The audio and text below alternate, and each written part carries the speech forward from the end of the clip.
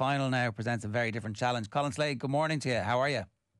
I'm good, thank you. How are you? Yeah, we're very excited about this game as neutrals. I can only imagine we, as a you know, as a nation, we can only imagine what it's like to be in a World Cup final. But uh, how are you guys feeling about this whole thing? Yeah, I'm, yeah, I don't know. Like it's um, obviously very excited. Um, there's a lot of excitement. A lot of people getting last minute flights. I've, it's been pretty stressful. I'm trying to find tickets for all my friends that have come out of the woodwork. So it's um yeah, it's, it's very exciting. I think you know I think if I was being honest, uh, you know, heading into the Irish game, we were pretty nervous. This one, we're not confident. We're more excited. It's a bit of a different feeling. Um, we've got to the big dance, and that's uh, you know that's what we we obviously aim for. So it's um we're there in the in the big show, and and now's the time.